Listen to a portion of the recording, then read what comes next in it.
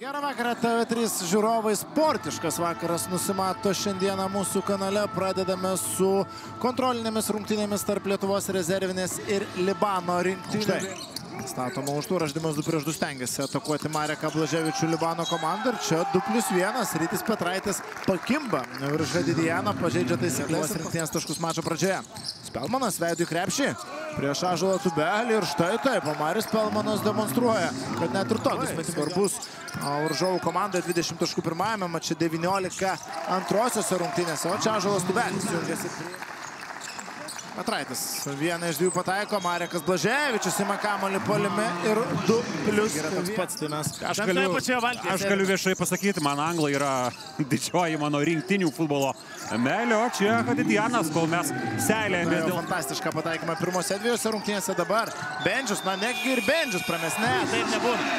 Eimantas Bendžius 100 procentų. Sunkiai. Sekasi Lietuvos rinktiniai kažką susikurti, galiausiai ta aktyvi gynyba sudaužoma į šipolius ir eina rastubutis. Kamolys.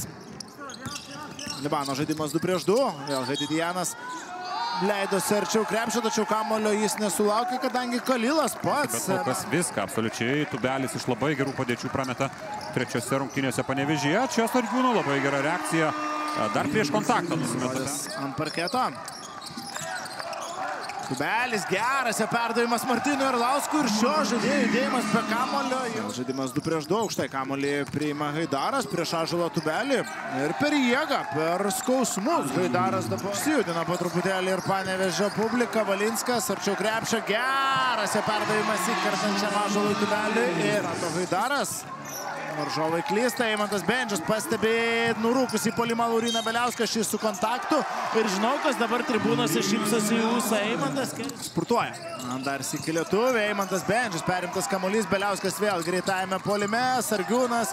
Ir čia jau gražu, čia jau smaginasi Lietuvos rinktinė. Kalilas.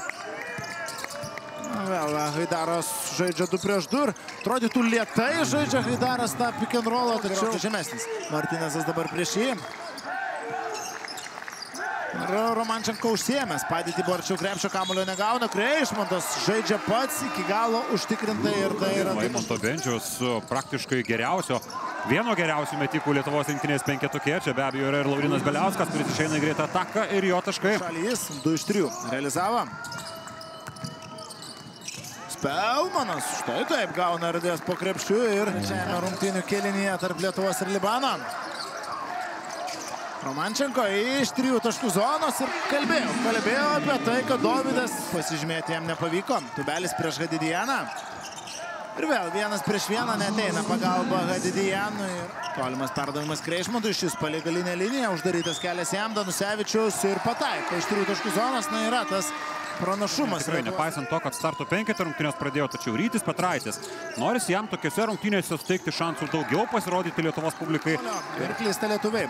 Mansūras pasileidžia ataką.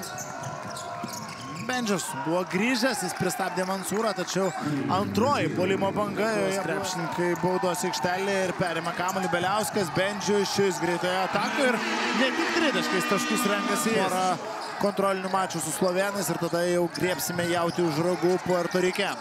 Martynas Arlauskas, dar vienas jo geras epizodas ir pergalingos skanduotės jau skamba panevežyje, improvizuotas fanų burelis susikūrė, man atrodo, tiesiog mačo eigoje ir galima pasveikinti Lietuvos rezervinę komandą ne tiek su pergalė, tiek kiek su kokybišku žaidimu visų trijų kontrolinių mačų metu dar kartą.